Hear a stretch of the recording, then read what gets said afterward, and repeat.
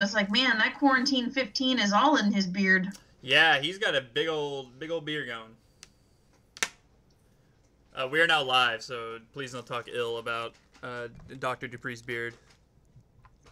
Oh no, I mean it's just gotten big. Yeah, no, no, I'm kidding. Um, let's see here. Let me make sure. The quarantine, it changes people. Truly does. Yeah, I saw that. I didn't. I didn't look. I didn't watch that video, but I saw that video of him, like just a second of it, where he's talking to the seniors, and I was like, "Oh, that's a that's a big beard." That you know, no one's getting trims. No, not at all. That you know, no one's getting trims.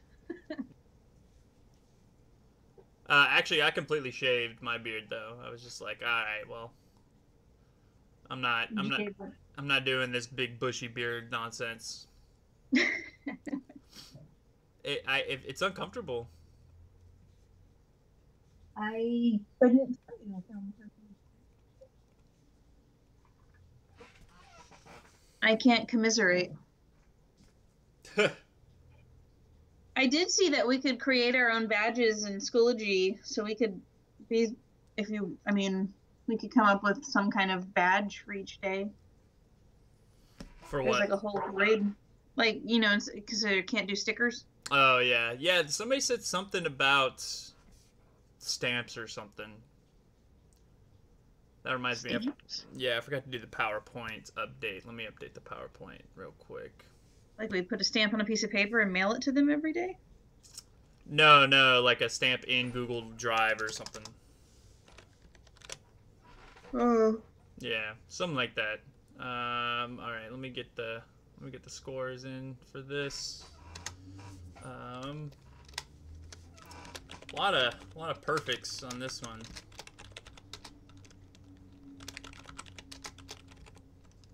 How dare they? I know. They need to stop being so good at this. Are we on what are we doing today? Chapter 27? 27 through 31.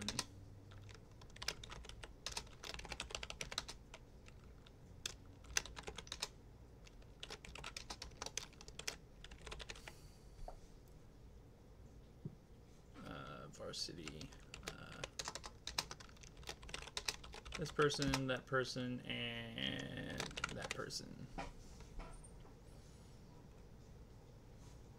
Uh, let's flip those. All right. Uh, let's see if anybody showed up in the chat. Nope. Nobody's talking. Rude. Hi, hi, all seven of y'all. Hi, how dare y'all? Really, six of y'all if Casey is also viewing. Oh yeah. hey, there's Catherine.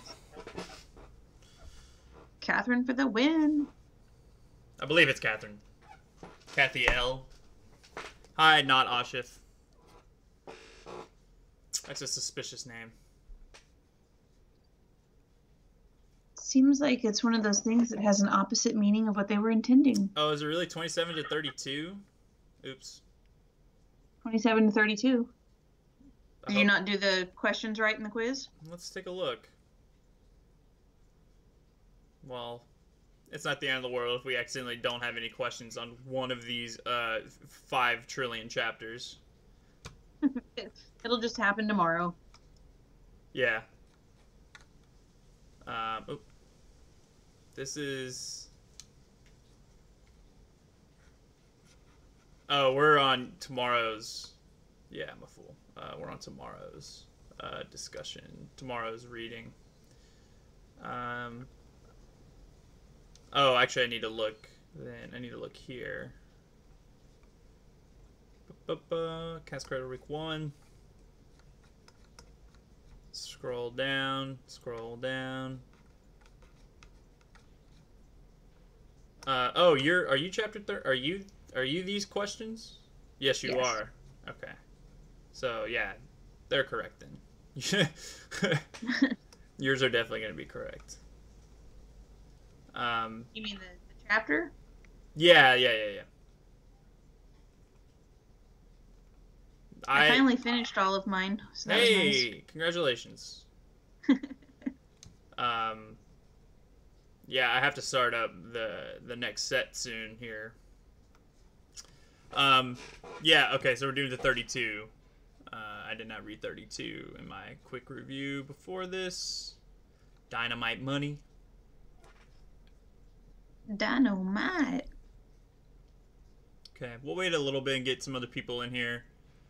Um, and then we'll start, uh, we'll do awards. There's a lot today, a lot of awards. Although those varsities need to be taking their quizzes. Especially certain varsities who maybe were on the final team last year. Not naming names, although it's only literally one person uh, that would be doing this. Not a whole lot. So, Go oh, ahead. sorry. No, go ahead. I was just gonna tell you if you're near Schoology, if you pop into the decathlon course and click on the badge thing, I just made one and see if you like it. The badge thing. Yeah, over on the left, like there's materials, updates, gradebook, Oh. badges. Oh, nice. That's awesome. So we could do something like that, Yeah, we could do something like that. and then you just check mark the, the people who do well. Uh, So, okay. Okay. And you can put whatever picture you want in it. That's just the old cover of Cat's Cradle, so I was trying to make it look creepy. Nice. Nice. So there's one badge for like chapters one through five, and then we could just do badges for each day, and then we can do Yeah. overalls. Okay. Yeah, and they can they can all look the same if you want or whatever. Yeah, that's neat. All right. Um, let's see here. Uh, what did I want? Uh, actually, I do need to do that real quick. Yep, yep, yep, yep, yep, yep, yep. Save and exit. Yep. Um, leave. Edit stream info. Uh, cat's Cradle discussion done. Um, let me also send out another thing here. Uh,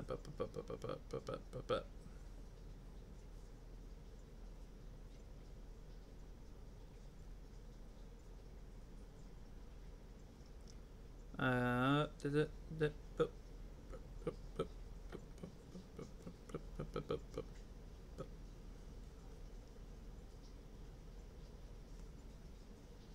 all right. Um. Okie dokie. Yeah, let's go and get. Well, let me pull back up the uh, the text. Oh man. You know, I said a nap. I said a run's coming later, but maybe it's actually a nap. Both are solid uses of time. That's true. That's a very good point. And it's Uh, going to be so lovely all day. You could nap and then go for a run at like 7 and it'll still feel nice outside. That's true. That's true. But I'm probably gonna go hang out with uh, my girlfriend tonight, uh, breaking all uh, manner of uh, quarantine laws.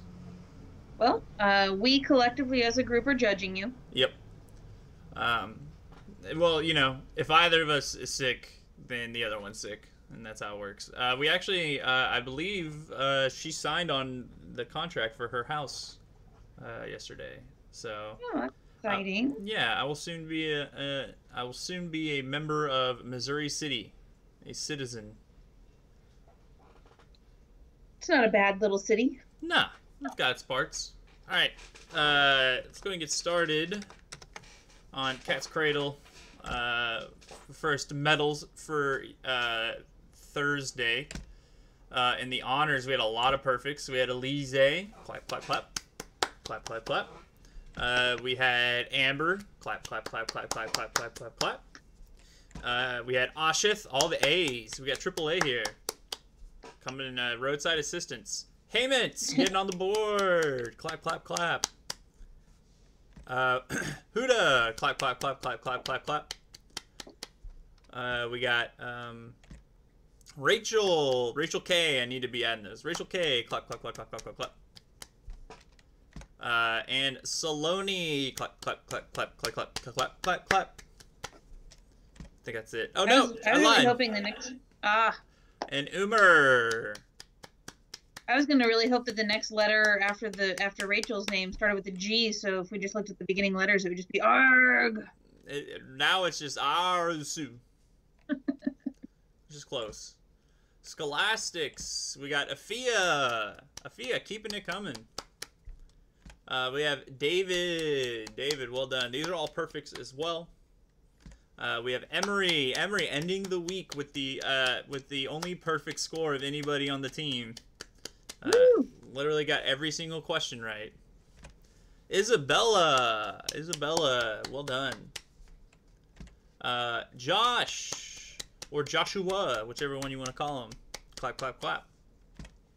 And Tam with that perfect. Clap, clap, clap. Starleaf, well done. Uh, is that it? Yes. And then the varsities, we had two perfects, and then we had third place. Leah with another perfect. Clap, clap, clap, clap, clap. Uh, Surya with a perfect score. Clap, clap, clap, clap, clap, clap, clap. Although he may have done it late, but that's okay. Uh, and then Conrad. Well done, Conrad. Clap, clap, clap, clap, clap, clap, clap. Yes, practice your clapping again. That's that's the number one thing we do here. Woo woo. All right. Uh, let's get into this. Yeah, good job, Afia. Good job, Ashif. Good job, Heyman. All y'all are in the chats.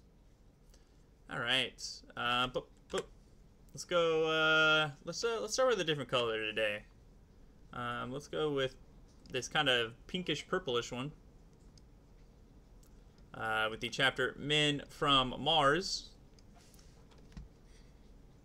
Okay. Um, all right, so uh, the uh, the Doctor Doctor Hoenikker's Felix's lab is on the sixth floor.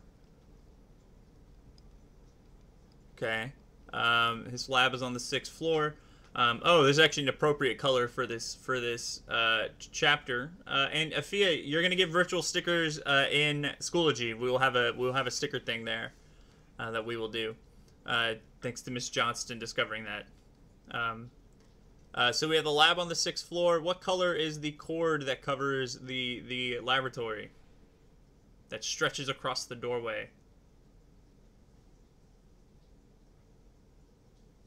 Purple. Yes, we got a purple cord.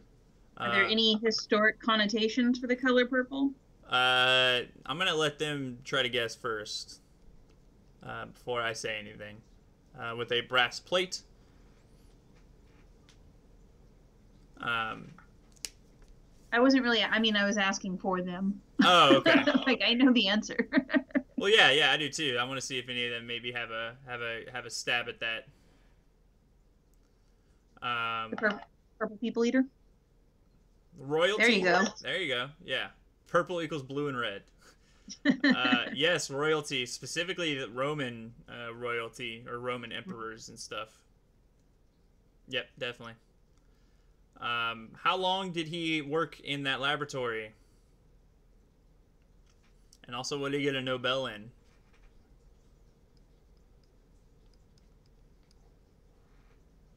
He worked there for 28 years. That's a long time.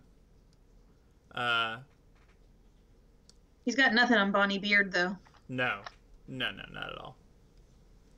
Uh, did you see? I don't know if you saw this. I saw on Twitter. Apparently, they're doing like um, old high school games on YouTube. They're kind of going through them, and apparently, Dulles made the state championship in like 1991.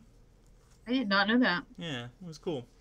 Um, they talk about uh, where he was as the frontier of knowledge, uh, and one thing I again the the kind of foreshadowing here, uh, his history, uh, uh, the importance of this one man in history of mankind, um, uh, importance to the history of mankind is incalculable. They say he's the frontier of knowledge, and remember we're in Ilium still, which was kind of the Oh, gateway yes. to the frontier back in the day as well. Yep, more more frontier frontier speak. Um, so uh, he goes in, uh, and then he says he's gonna hang out with whatever whatever ghosts are there. Um, and she says it's just as it was, except for what is missing. It's just as it was when he died, except for one thing or several one things.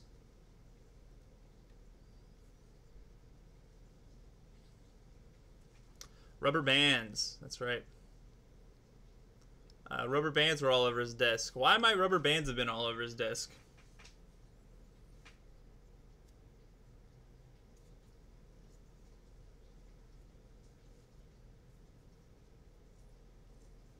I have a theory. I'm not saying it's the truth.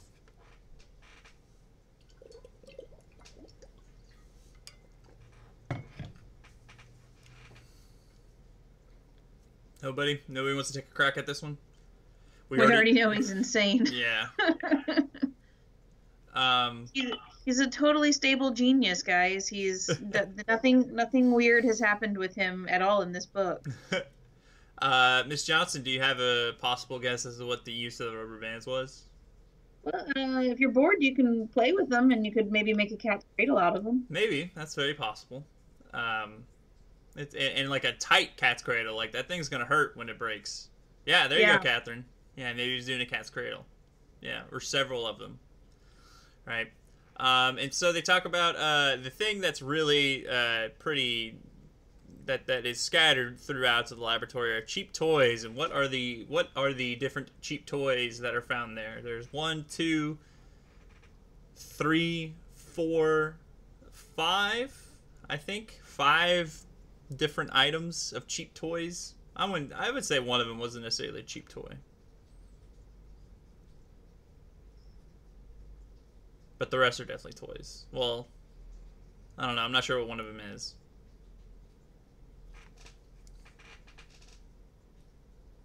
Paper kite with a broken spine.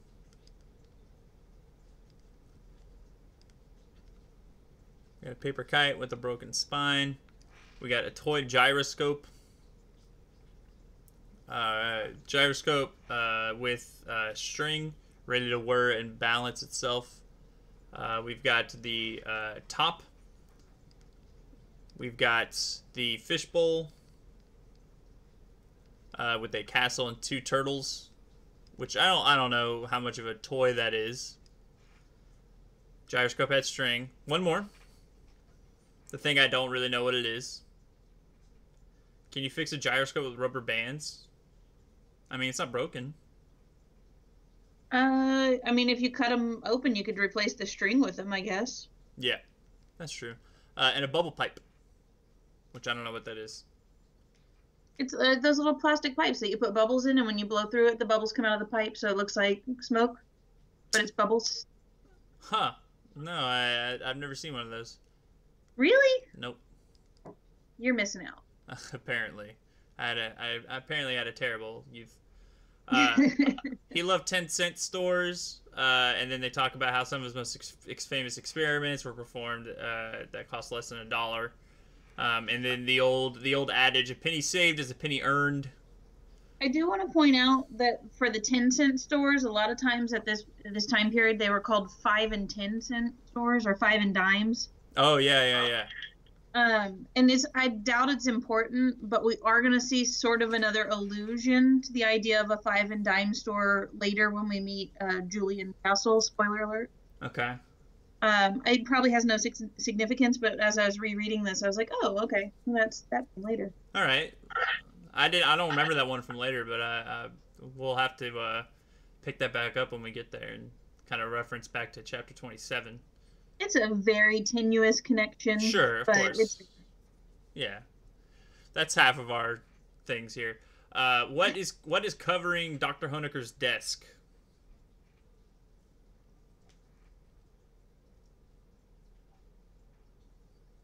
I will point out for the bubble pipe, you don't breathe in, you blow out, and the bubbles go up, so you're not yes. getting high on bubbles. Yeah, yeah. Uh, no. Uh, letters, yes. Also, they say call it correspondence, uh, and that he never answers. Right, you have to come find him or get him on the phone uh, to actually listen to him. No, no, no, Heyman, you're not wrong. Uh, we're getting there. Uh, yeah, so he never answers those letters. Uh, and then there's a framed photograph, and Jonah can't see it at this point. It's facing away from him, but he assumes it's either his family or his children, his wife or his children or him.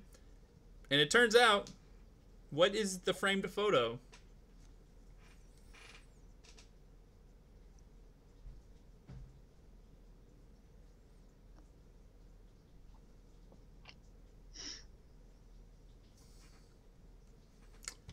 It was a war memorial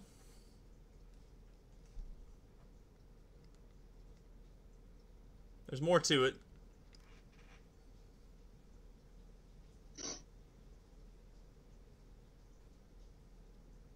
Uh, yeah, we got cannonballs. We got stacked cannonballs. Uh, what's in what's in front of the What's what's in the background of this of this picture?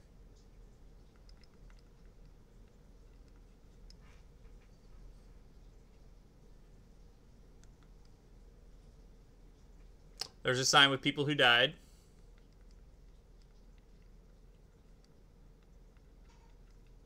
It's in front of a small town courthouse. Thank you, Ramus Hashbrown. That's a name. Man, I got I, I bought I uh I did the, I did the evil deed of going to the store while hungry. Oh no. Yeah, so I, that's when I bought the chips, and then I also bought uh, some some hash some frozen hash browns. And rookie mistake. Yeah, that's gonna be fun. Yeah, and so it's a, it's a picture of the, how the cannonballs were stacked. Right, they're stacked in a specific way. Right, they've got them stacked in a picture that's very unusual. So it's actually called them unusually stacked cannonballs. Right, uh, and then they talk about he's an unusual man. Um, and then uh, Miss Faust says maybe in a million years everybody would be as smart as he was and see the way things he did. Uh, but he is as different as a man from Mars. Uh, maybe he really was a Martian. Jonah asks, and then, and then she says that that could explain his kids. Um, so we're we're finally kind of getting to the kids a little bit more, and we're gonna get we're getting closer and closer. Um, but yeah, I think uh, I think him being a man from Mars is interesting. Again, kind of what we talked about in the last, I think the last one. Um, maybe thinking about like him is not of this world. Uh, maybe some sort of devilish figure. Right. Mayonnaise.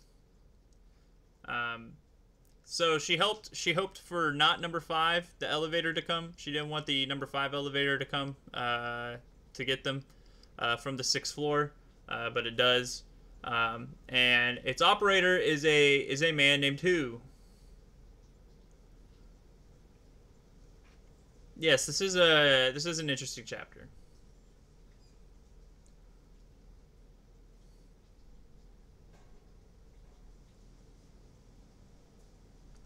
Lyman Enders Knowles. Did anyone else kind of picture him as um, like Rafiki from The Lion King? No, I did not. Like the the kooky old baboon that like shakes stick at people and yeah, just chants randomly. Sure. um, what I find interesting is that this is uh, so this is a black man. Uh, Lyman's a black man. He is only one of two uh, named black people in this entire book. Um, uh, and and I and to to kind of characterize him as insane, right? And then also kind of in context of the other black character, right? I think is uh, interesting because um, I think you can make the argument that the other one also uh, might be a little out there, which I, I don't I don't know if Vonnegut's doing anything on purpose here, right? It's uh, especially at this time, right? One of the kind of common jobs for uh, a black man in an urban area was to be an elevator operator. Um, you see it in like in Mad Men, right? Uh, the elevator operator uh, was a black man, and so you know I don't know if there's he's trying to say anything, but uh, I found that just as interesting. Scientific racism, very possible. Um, so uh, yeah, he grabs his own behind and cries "yes, yes" whenever he made a point. And he called them fellow something, something, and something. What what does he call them?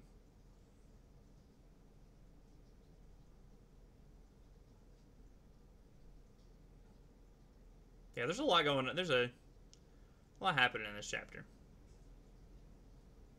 I just don't know what it means. I feel like it means something. Uh, we have anthropoids. Uh, we have lily pads. And we have paddle wheels. What a what an interesting thing to call people. What's up, my fellow anthropoids? Uh, so Miss Faust coldly says first floor uh, and he's not he he's not pressing the button.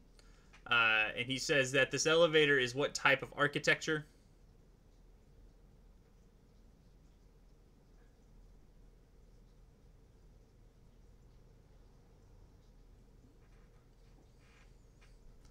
Mayan architecture.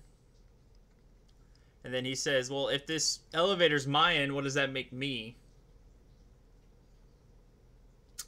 Yes, mayonnaise. Or mayonnaise. What an interesting, interesting turn of phrase. Yes, May- Mayanesque, or like to be to be of the Mayans, right? Uh, like like if you're if you're um, English, right? Anglais, right? Is kind of the French way of saying that. Uh, so yeah, I don't know. Um, and then he talks about he hit him with a question that straightened him up, made him think twice as hard. Uh, and then what's that question that he asked the man about?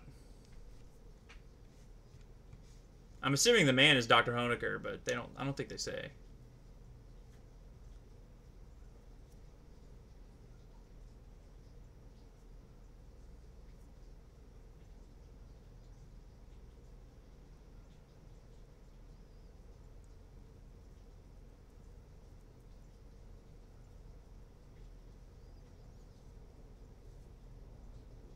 Anybody? Bueller? that's that's not a that's not a reference these the, the kids will get these days probably. oh, you never know. You never know.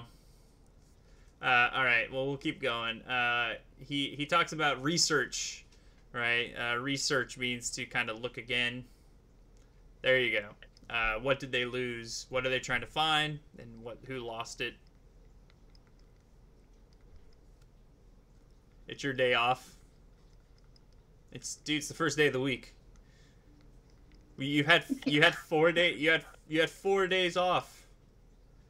Uh, yeah. So he says research means look again. They're looking for something they found and got away somehow. Um, how come they got to build a building like this with mayonnaise elevators filled with all these crazy people? Um, so yeah, and then could we go down? And then he's like, the only way we can go is it's down. Um, and then uh, uh, he goes on and he's like, "Hey, this guy is coming to see Hoenikker's office." Um, and then he says, uh, when he heard Dr. Hoenikker dies, he says, "Dr. Hoenikker's not dead. Uh, not dead. Oh, I did, I did uh, misunderstand you there, uh, uh, Hemant. Hemant, Hemant Kanwar's day off." Um, Oh, I gotcha. Yes, we're we're behind the time. We're behind the curve here. Uh, he says Dr. Hoenikker ain't dead. Uh, just entered a new dimension.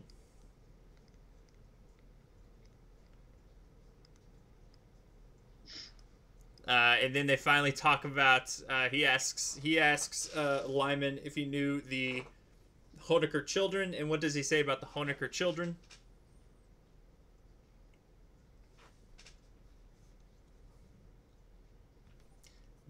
Babies full of rabies.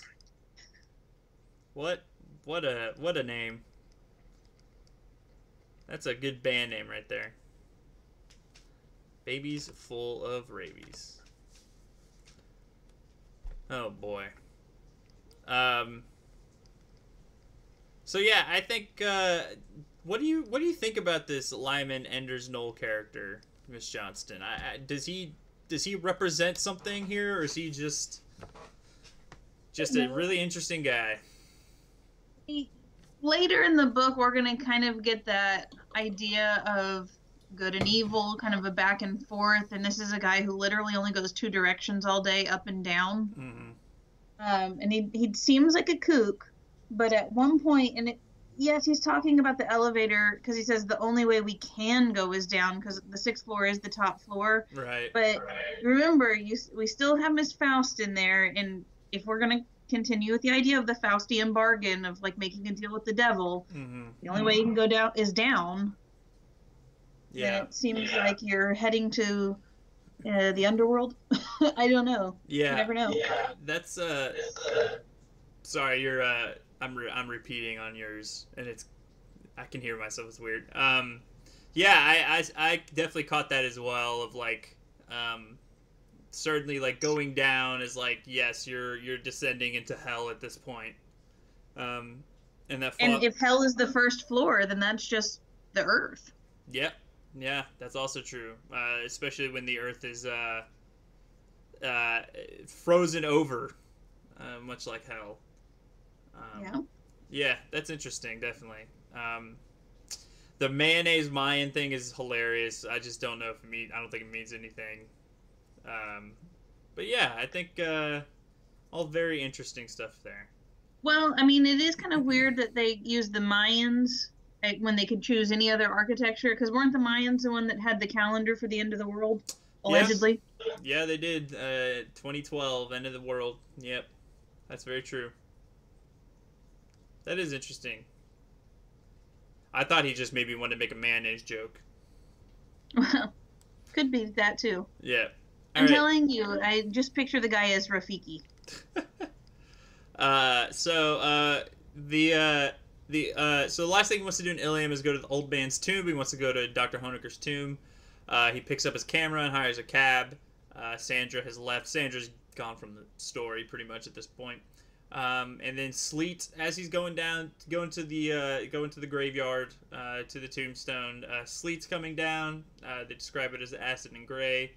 Um, and then he, he starts thinking about the picture he might get to photograph of the tombstone. What does he say about that picture uh, that he might be able to get for the for the tombstone? If they were a band, they should sing calypsos. Yes, so the the yes, the sleet is acid and gray, but what does he say about the photograph that's going to come out of this possibly? If he takes a photograph.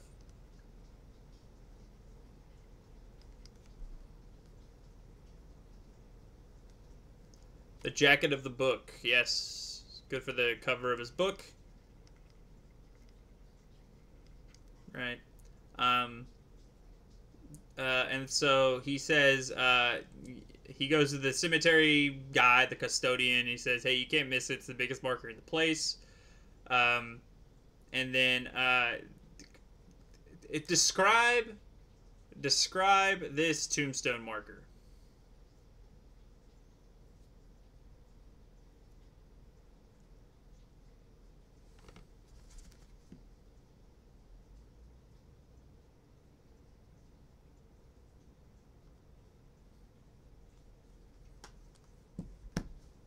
Well, it is the wrong person, but describe the describe the yeah the alabaster phallus.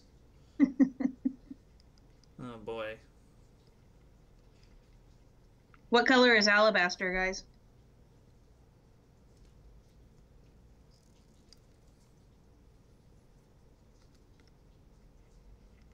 I think I know, but I could be wrong.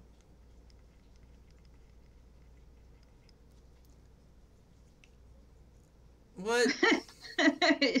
well, it, it is it is white. yes, it's white white gypsum. You didn't have to add that last part though, Heyman. Get your mind out of the gutter, young man. Inappropriate. Yeah, just because he says phallus doesn't mean you can go straight to what it actually means. We're not here for that. I agree, Catherine. Why?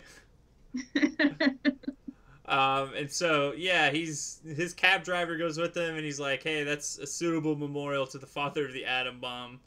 Um, he wants the driver to stand next to it so he can he can get to scale, which 20 feet high is very high. It's double the size of a basketball goal, which is not nice. Uh, uh, and so he he has him wipe away some of the sleet. Turns out, uh, who is the uh, who is this the tomb for? I don't know why he would describe it like that either. Except I guess most tombstones kind of with their curvy shape. Uh, well, I, I kind of pictured it as sort of like an obelisk. Sure. Okay. You're probably one of the most innocent kids in your WAP class. Well, you're making me uh, you're making me wonder. Uh, yes. Very intentional on Vonnegut's part, though. I mean, he's describing it as a phallus, and then he says right there on the shaft in letters six inches high. I mean, he's definitely doing that on purpose. He definitely is. He And def- yeah, you you think it's gonna be for Felix, and then it would, and that's why he makes the joke. that's suitable memorial to the father of the atom bomb. yeah. You know, like one of those you right, know, right. compensation kind of things. Right. it's for the mom. That's true. That's a very good point. Uh, so yeah, it's uh, Emily Hoenikker's uh, Emily Hoenikker's um, grave site's tombstone. Um, and so the driver incredulously asks mother, uh, and then we have these two poems. Uh, who are these poems by?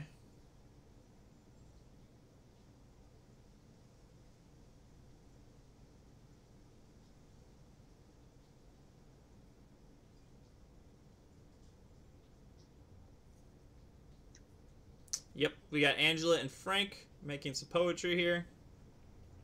Uh, and then, do we have anything from Newt uh, on the on the grave on the tombstone?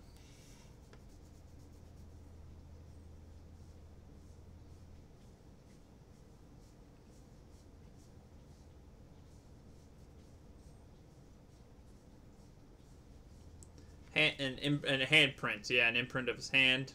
I'll just go handprint. Uh, and let's uh let's look at these poems real quick. Angela, uh, mother, mother, how I pray for you to guard us every day. Um, and then Franklin's is you are not dead, but only sleeping. We should smile and stop our weeping. Um, I think giving us a little bit of a of an insight into each of these characters that we haven't met yet. Right, we've already met Newt technically, or in a sense, right. Um, and also, of course, he has the handprints because she died while giving birth to Newt, so he's not going to be able to write poetry yet. Um, and so that means we have a what a we have like a seven-year-old Frank and a and a seventeen-year-old Angela, uh, assuming they wrote this at the time of her death, which is maybe not true. Um, considering that uh, her dad, I'm assuming their dad didn't care too much. Uh, they might explain a little more of that. Um, Yeah, I mean, later I think you get the impression that it happened maybe a little bit later Yeah. because of how they paid for it. yeah, yeah. But we don't have the exact timeline on that to, that I'm aware of. No, we do not. Um, Right. s- so Angela, with the kind of guarding us every day, seems like she wants some sort of security, some sort of protection, uh, and Frank is kind of just like discard this thought, right? Almost that kind of like, almost like trying to be masculine about it, like, oh, we should uh, stop crying about it, right? You're every mom, moms die all the time, kind of thing, right? Um, She- She's dead. Get over it. yeah, exactly. I will point out that we, when we see Angela speak or have words attributed to her, there is always kind of this, I don't, I don't know, like religious undertone to it. hmm Um, like not necessarily faith based in the way we would think of like an Episcopalian or a Methodist or a Catholic or whatever, but I mean, later we're going to find out her faith is kind of in her father, but it is kind of interesting that her name is Angela, Angel, Yeah, that's true. and she's the one that has the kind of religious illusions when she's speaking. Because when you're talking about mother, mother, how I pray for you to guard us every day, it's like she wants her mom to be her guardian angel. Yeah, definitely, and especially, um, you know, I think she, yeah, as you pointed out, she very clearly worships at the altar of uh, Felix Hoenikker, right? Of her of her father, like that's her whole life revolved around him, uh, as we're gonna see later.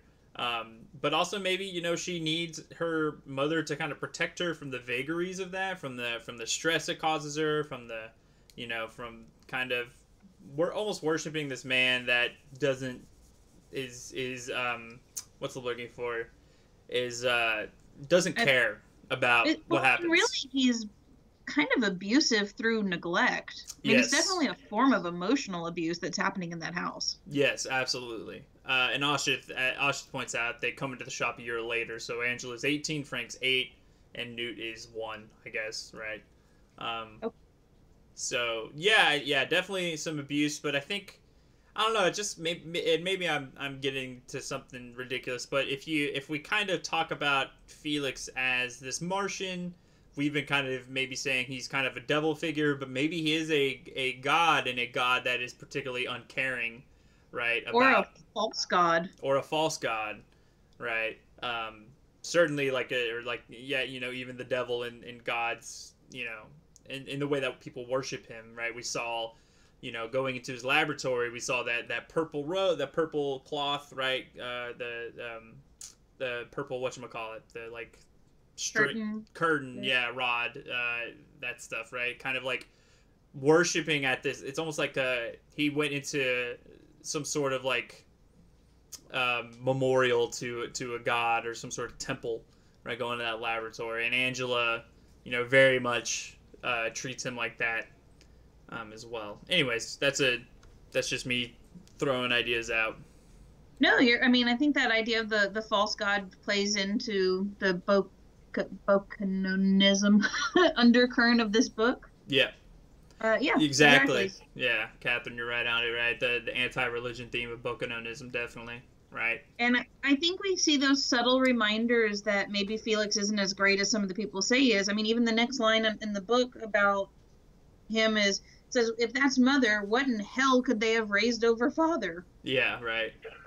Um, so then we have that again, that kind of hell demon kind of potential connection. Yeah, and then uh, to kind of, I, I kind of wrote this up here so I don't forget. To kind of go on with the anti-religion aspects of Bokononism, and clearly this book, right? Also, maybe the the worry about the the worship of science going too far, right? Of of like if everything is about science, right? Then you're going to lead to scenarios where. You know, people who are incredible geniuses are going to come up with ways to literally end us all, right? Which is very, you know, anti-nuclear war uh, Mhm. kind of kind of ideas. So yeah, they go try to find uh, the the idea being Felix's tomb is going to be if if this is just Felix's wife, what could Felix's tomb look like? Turns out his memorial uh, he he wrote into his will he was supposed to have a certain exact memorial uh, uh, a tombstone. And what was the size of that tombstone?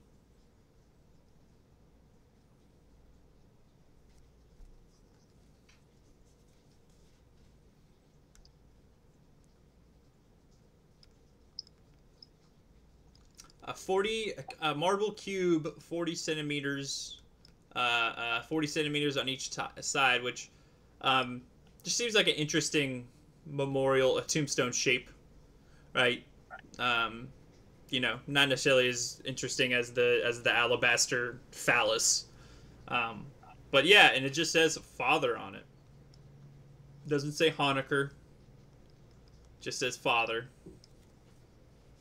um, just like mother, right? Which I, I found I, I don't I don't know how interesting that is, but it is it is a thing. Um, where we at? Okay, thirty one. I don't by having it be that kind of uh I don't know what the word I'm looking for. Detachment, I guess maybe that kind of bland detachment. It suggests that these kids didn't really know either of their parents. Also true. Also very true. Uh, I mean, the poetry kind of implies they maybe did know something about their mother, right? But also that could just be like, as we'll see later, there a lot of the reasons for that tombstone are purely selfish on behalf of the children. hmm Uh, go to uh, so afterwards they go to the cabbie's mother's grave to see what's going on there. Um, and so they take a little detour there. Uh, an interesting look into Jonah, where he calls the the gravestone pathetic. Uh, pathetic little stone. Not that it mattered. Yeah, Haymond's uh, emotional ties to the mother, which weren't reciprocated with the father. Not only reciprocated with the father, but reciprocated by the father to the mother as well, right? Definitely. Yeah, and he talks about that. In, not that it matters, you know, kind of trying to like almost cover his tracks in a way, you know, like oh, it is, it didn't matter, you know, but man, it looked like crap. Um, yeah, i- it's just, it's like I guess Jonah's kind of getting caught up in this being in the presence of greatness, you know, of the Hoenikkers. Um, at least according to in his thought, right? Um, and then they go across the street to a tombstone salesman, which um, man, talk about a talk about great location. um, tombstone salesman across the streets, uh, and so he goes across. Uh, why does he say that he he he only agreed with some peevishness?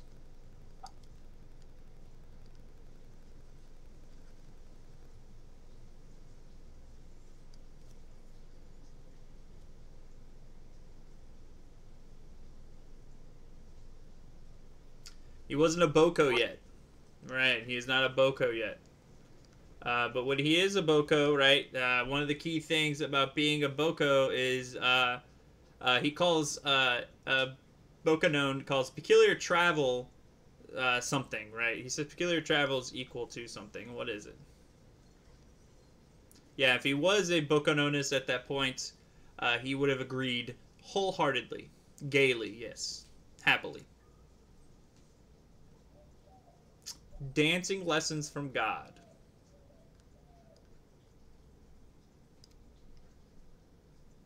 Is it capitalized? It is capitalized.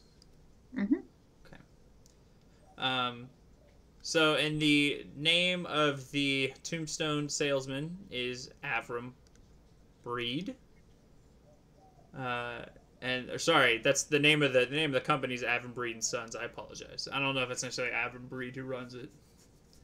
Um. Uh, and so he he sees he go he starts uh, the driver's talking to the salesman, and then I wonder if the, I wonder if the cabbie driver after seeing the Hoenikkers memorials wants to buy his mother a better one maybe. That's the impression I got. Yeah, uh, I didn't think about it until now. Um, so Avram Breed and Sons, uh, and then he goes in. The cabbie's talking to the salesman, uh, and he starts to go around um, and and looks at the blank monuments, uh, or the the monuments uh, to the memory of nothing. Which, again, I'm, I'm kind of thinking out loud, processing out loud. This seems very, also very um, foreboding. Uh, because, um, like, if you think about the nuclear bomb, right? If you think about all the millions of people or hundreds of thousands, I'm not, I can't tell you how many people I know died during the nuclear bombs, right? You know, when an entire community gets, you know, decimated like that, there's nobody left to remember who they were, you know. Um, so that's almost like a memory of nothing, right? You're you're you're kind of you're you're you're you're memorializing people you didn't know and nobody knew at that point. Yeah, and anytime there's that kind of mass death, a lot of times as societies we use mass nameless, faceless graves. Mm-hmm. I mean, you know, kind of. I'm not saying they're doing mass graves, but if you've seen the, the images out of Italy recently, you know, they're just lining up coffins, waiting for the ability to to bury them, and so you just have these row after row after row of coffins stacked in the churches where no one can go. Yep. Yep. Uh, and then yeah, and then also like things like the kind of tomb of the unknown soldier. Uh, kind of memorials that we see in I don't I know quite a lot of countries I think I don't think it's just here, um, but yeah. Anyways, uh, an institutional joke. What is the institutional joke that uh, Jonah comes across in the Avram Breed and Sons tombstone shop?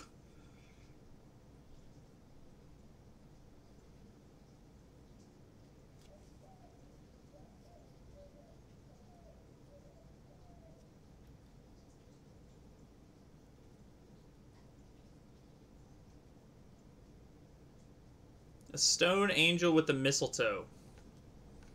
Right, so like a stone angel, right? Kind of thinking like, you know, angels tend to be quite beautiful and pretty, but you got a stone one, uh, and above these stone angels, a mistletoe, right? Uh, which is, you know, for those you don't know, is a Christmas thing where if you're under a mistletoe, you're supposed to kiss the person under the mistletoe. Um, you got cedar boughs uh, heaped along her pedestal. Uh, and then uh, there are Christmas tree lamps. What is, what is that like? Oh, like lights that go on a Christmas tree.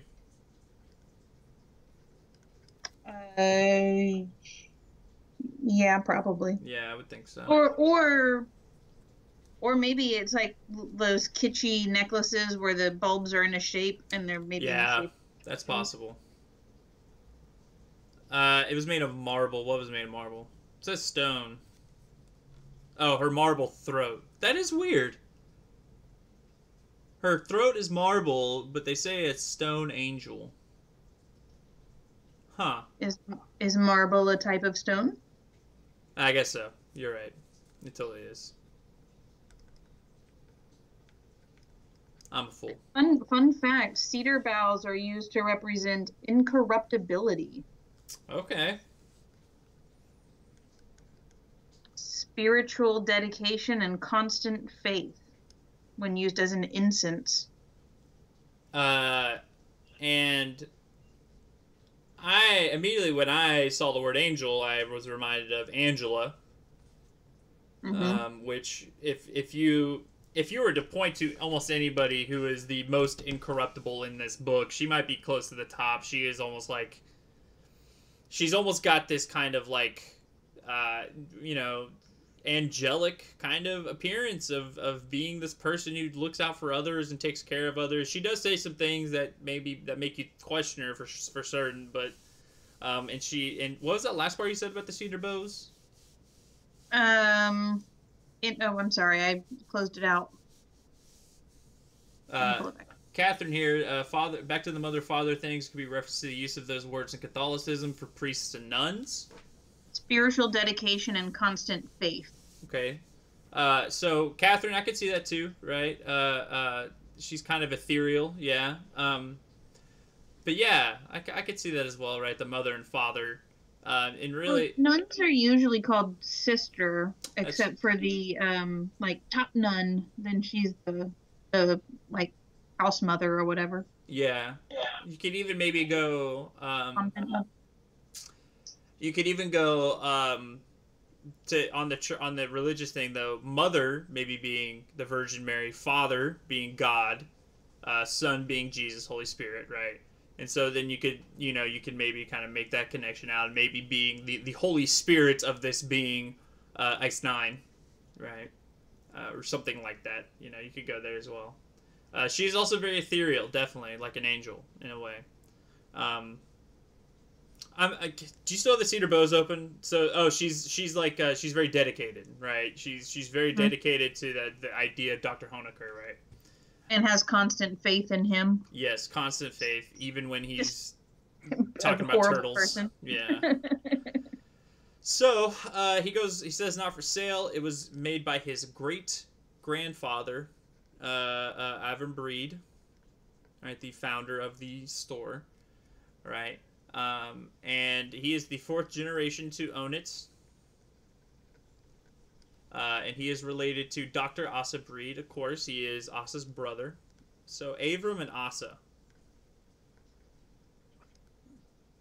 Uh, and then Jonah says it's a small world, and then what is what is uh what does Mr. Breed say here? Marvin Breed, sorry, Marvin. Yeah, it's his younger brother. Yeah. Did they say younger? Um, No. they just said it was his brother. Yeah, I just think they I said. mean, brother. later they're gonna tell you, but Okay. Uh, yes, the world is small when you put it in a cemetery. Oh boy.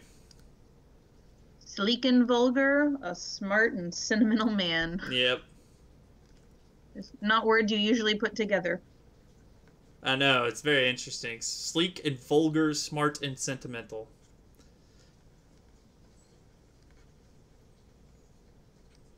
Sleek and vulgar, smart and sentimental. Interesting. Uh, yeah, Oh, Abraham.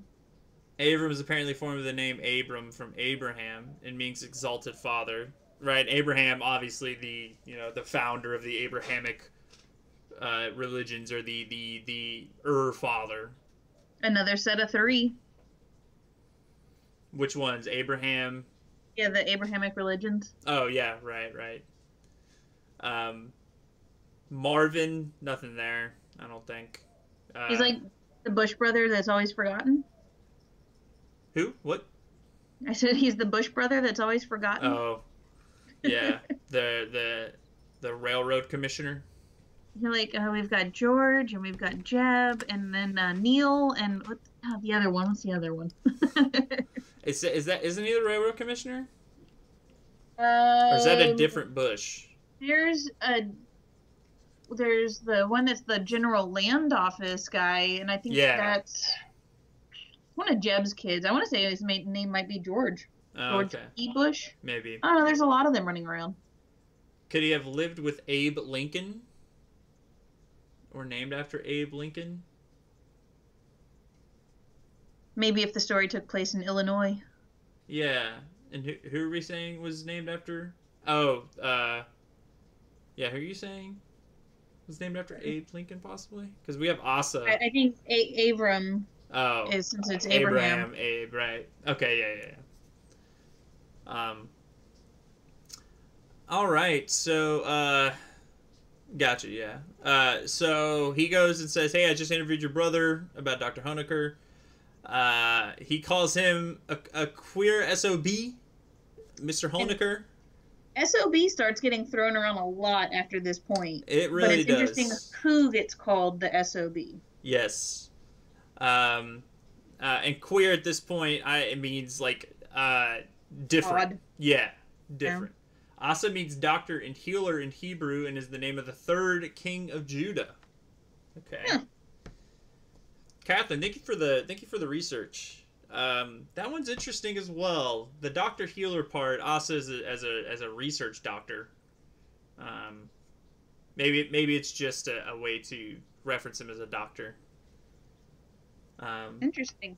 It, it takes on a different meaning now. Sorry, current events. Uh, Asa something or other is the the governor of I don't know Georgia or Florida or one of these places where they're ignoring all of the the quarantine rules. yeah. His name means healer. Yeah, there you go. Um, and so uh, yeah, he calls Dr. Hoenikker this this this queer sob, uh, and then uh, he talks about the monument. And so he says he sold uh, the wife's monument to the kids, uh, which obviously makes sense because as we know from Dr. Hoenikker, he's he's never gonna do that, right? He's never gonna get a monument like that. Um, he didn't, and they just say that he didn't have anything to do with it. He never even put a marker on the grave, which we already knew. Um, after she'd been dead for a year or more, so we're saying year and some change, maybe. Um, the three kids come in. They wanted the biggest stone money could buy, um, and the two older have homes. It's all stuff we already know, so I'm not gonna write it down. Um, and then Marvin Breed says, uh, "What does he say about the kids? The kids' reaction to the monument, or like how they felt about it?"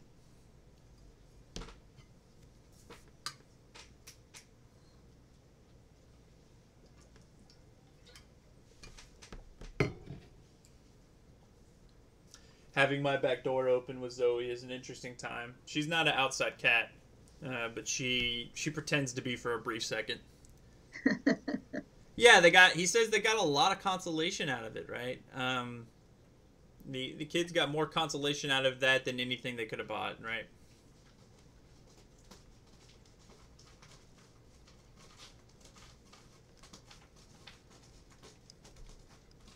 Ooh, nothing to do with what we're talking about, but I just had a thought that another famous Marvin of this time period is Marvin the Martian. Yeah, that's true. That's very true.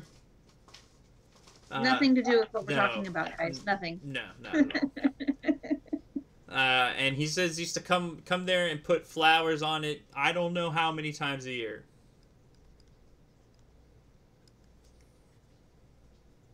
Right. Uh, it must have cost a lot of money. They bought it with the Nobel Prize money, which I didn't think was that much. Well, isn't it like a million dollars now? But I don't know what it would have been in the 60s. Uh, yeah, I didn't realize it was that much. Um, and what else did the Nobel Prize money buy?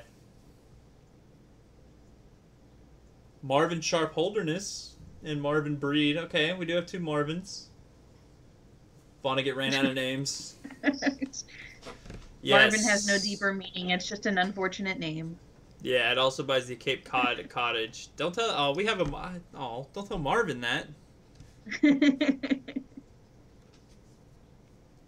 Right. Um, and then Jonah then kind of just pondering on the Nobel Prize money. Uh, what does he call the Nobel Prize money?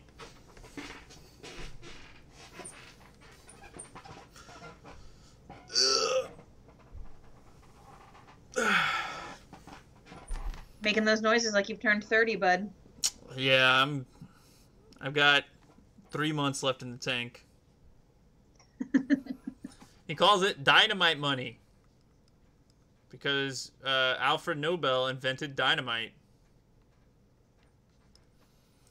Um, and then he, he goes about he talks about thinking of the violence of dynamite and the repose of a tombstone in a summer home. And it's like, you're so close. You're so close, Jonah. You're so close. like, don't be thinking about the violence of dynamite.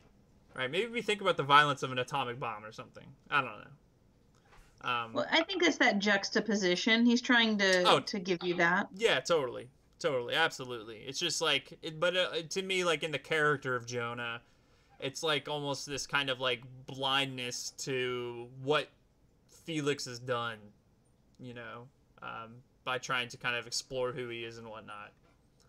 Well, and that's another thing I find so interesting about this book. The more you find out about the Hoenikker family, the more it seems like they're pretty private, closed off people that don't interact much. Everybody else knows their business. Yep, that's also true. That's a very good point. I wonder, I wonder why that is. Yeah, I mean, I guess the the dad is kind of famous, but like, how does he know what they use the money for? Like, obviously, he knows they bought the the tombstone, but why does he know they bought a cottage Mm-hmm. Yeah, definitely. and Breed's all up in their business? That's true. Maybe he, maybe Asa has told him all about it. Yeah, it's just one of those hmm, Yeah. things. Uh, and so we get introduced to my favorite Bokononist phrase, uh, busy, busy, busy.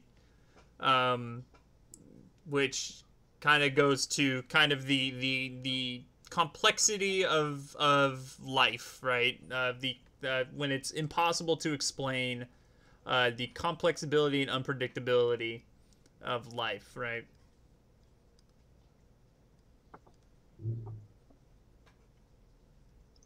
Um, Busy, busy, busy is kind of an interesting phrase. We have that that repetition in there, Yep. but if you if you say it, it sort of makes a sound, bzz, of like bees. Like busy bees. yeah. Yep. That is interesting. What was the other? There was another triplet phrase that I pointed out earlier that we related to busy, busy, busy. Oh, dude, that's been a while. Yeah, was it? I forget what it was. Maybe, maybe one of the kids can remind us.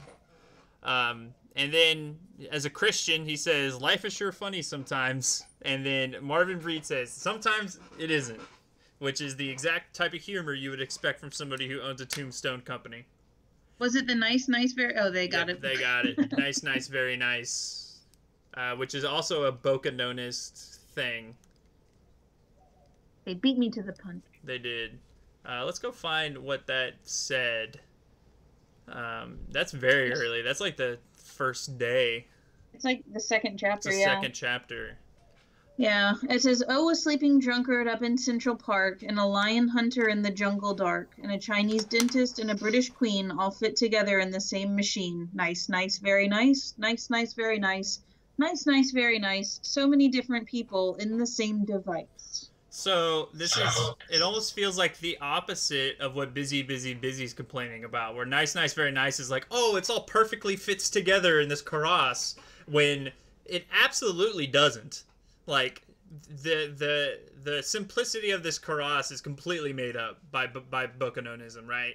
Uh, like the, these these three or four different groups of people, or three or four different people somehow fitting into the same cross is just bogus, right? It's not real. Uh, it says freeform as an amoeba. Get it right. You're right. I'm sorry. It's freeform as amoeba. But then when life is too complex to understand, instead of being as freeform as an amoeba, it's busy, busy, busy. Right? Which I think maybe goes back to the like the contradictions at the heart of not only Bokononism but also of religion, right? Well, and then you have that kind of if you're comparing those two things, you have that juxtaposition too of a free form as a, an amoeba and busy, busy, busy, which you get that buzzing of bees, and we know bees are like hyper ordered creatures, Yeah. very structured. Yeah, definitely. So it's it's yeah. I, I I don't know. I don't know where to necessarily place this. I just think it's very interesting that like we have these two, you know, re- repetitive phrases that almost mean the opposite, um, in a way, right? Uh, so yeah, that's it. That's uh, that's all the reading for uh, tomorrow. This is tomorrow's stuff. Uh, I think this book's finally starting to kind of pick up here. Um, pretty soon though, I don't know how soon, but it gets it starts running. like there's a point where you just can't stop reading in this book because you're like, what is what is happening here? And then it runs out, and you're like, uh, okay. Yeah, it's and then it's done. You're like, uh, all right. Which uh, hopefully we'll we'll be able to maybe find some meaning in, um, not necessarily from ourselves, but hopefully from some other outside sources if, if we can't do it ourselves. Uh, does I just hope you all have a paperback copy of this because when I read it the first time, it was on digital book, and I was like, wait, where's the rest? uh, anybody got any questions or anything? Uh, thank you guys. I, uh, who's Ramus Hashbrown, by the way? I don't know who Ramus Hashbrown is. Uh, is Jonah trying to understand the purpose of Ice Nine at this point, or is still to learn about Felix? So he assumes at this point Ice Nine doesn't exist, right? So he's still trying to learn about Felix for his book, right? Uh, which spoiler warning, his book is not going to get made, right? What? Well, I guess yeah, yeah. Oh, sorry, yes, yeah, yeah, yeah. I thought said, I thought you said but, and I was like, uh. I was like, no, what? I mean, he kind of does make a book about it, right? It's a yeah, that idea of a book within an actual book. Yeah. Uh, as Boko says, if you try to find meaning, you're gonna fail. So I can't know the, I can't know who Ramus Hashbrown is. This is disappointing. Um, so yeah, so he's not he's not trying to find the person of Ice Nine again. Doesn't think it exists. He's just trying to learn about Felix for his book, and it's kind of just going on. Clearly, Vonnegut followed that advice. He doesn't explain stuff enough. Um, I think that's on purpose, though, right? There's there's definitely some things left short on purpose, uh, especially at the end of the book, um, that are up. I Go ahead. oh sorry. No, go ahead. I got. I was gonna say he he's he does yeah he doesn't go in and explain things clearly, but he gives you and we've seen this back and forth or this push and pull idea, and you're gonna see it more in the coming chapters. Like there's actually a a, a Bokononist phrase for that idea of this back and forth, this kind of seesaw adventure of life, good and evil. Um, you know that juxtaposition I keep talking about. Um, and, I, and I think that's very reflective of the times. Uh, you have to remember this is the early 60s when you're very much in the Cold War. You have good and evil, except in propaganda, that's good, the capitalist versus bad, the communist. Uh, and you have things like the the worship of science that we go back to that. You have the or not the atom bomb race that's done, and the hydrogen bomb's been built, but we have the space race, which is the final frontier. Uh, and you have these we're going to we kind of see this with the uh, expansion in the islands. We have these large countries trying to take over power structures of smaller countries to spread their ideas. The ideas, you know, you have the spread of Bokononism, and I mean, it's, there's a lot going on that's parallel to what's happening in real life. Mhm. And we don't always get all the answers in real life, so it's just commentary than explanation. Yeah, and and you know to to piggyback on the idea of like the '60s of this like this this era is so complex and complicated and and things so many things going on. They literally made an entire topic about this two years ago. Like that was our entire topic was just the '60s. Uh, so it's a very it's a very complicated time period. Um, and yeah, so I think I think uh, Miss Johnson kind of explained better than I ever could that it's yeah, it's just uh, it's that's the way of the world, right? You sometimes can't explain it. Um, you kind of went you kind of went on a little. I did not expect you to go talking about uh, good old CIA overthrows of Central American and Latin American democratically elected socialists and Well, I mean, that's clearly, you know, kind of these like banana republics are a factor in this book big Yeah. time. Yep, definitely, definitely. San Lorenzo is is certainly a. Uh, I don't know. I wouldn't call it a banana republic because the, the the well the irony about San Lorenzo. We're getting way ahead here, but the irony of San Lorenzo is there's nothing there. Like they can't make anything. Yeah. Um, so at any rate, um, well, we're, we're getting ahead. We're spoil we're spoiling uh, all of it for you guys, so I apologize about that. Um, Don't just read the book. Come on. yeah, just read the just just read the book. Um, uh, Cat's Cradle twenty seven to thirty two is in the books. Um, you guys have a great day. We will talk, hopefully talk to y'all tomorrow. Um, keep reading, keep doing well. You guys are doing great. I'm really excited to see uh, what we're gonna do going forward. Um, And maybe one day we'll learn who Remus Lupin is. I mean, not. Uh, Ramus Hash Browns. yeah. All right, y'all have uh, a a good one. See ya. Bye, guys.